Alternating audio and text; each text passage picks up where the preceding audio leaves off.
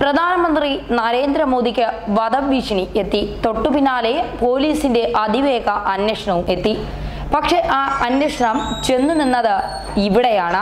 ഒടുവിൽ സംഭവിച്ചത് എന്തൊക്കെയെന്നല്ലേ? പ്രധാനമന്ത്രി നരേന്ദ്രമോദിയെ വധിക്കുമെന്ന് ഭീഷണി. രാജസ്ഥാൻ ബി ജെ പി അധ്യക്ഷൻ മദൻലാൽ സെയ്ക്കിനാണ് ഭീഷണിക്കത്ത് ലഭിച്ചത്. അദ്ദേഹം ഉടൻ പോലീസിന് അത് കൈമാറി. പോലീസ് വിശദമായ അന്വേഷണം നടത്തി. കബളിപ്പിക്കാൻ വേണ്ടി ആരോ ചെയ്തതാണ് എന്ന നിഗമനത്തിലാണ് അവസാനം പോലീസ് എത്തിച്ചേർന്നത്.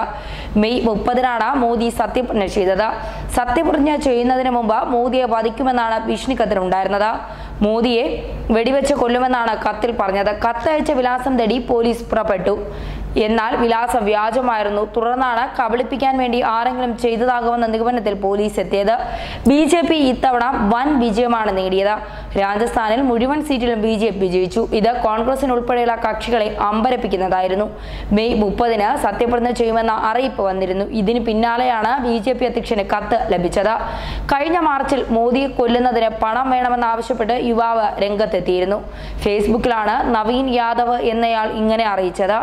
പോലീസ് അറസ്റ്റ് ചെയ്തതോടെ ഇയാൾ മാപ്പ് പറഞ്ഞു മോദിയെ കൊല്ലാൻ പദ്ധതി ഇട്ടില്ലെന്നും മോദിയെ കൊല്ലാൻ പദ്ധതിയില്ലെന്നും വെറുതെ ഒരു പോസ്റ്റ് ഇട്ടതുമായിരുന്നു ഇയാളുടെ പ്രതികരണം. രാജീവ് ഗാന്ധിയെ കൊന്ന പോലെ മോദിയും കൊല്ലുമെന്ന രണ്ടായിരത്തി പതിനെട്ടിൽ മഹാരാഷ്ട്ര പോലീസിന് ഒരു കത്ത് ലഭിച്ചിരുന്നു.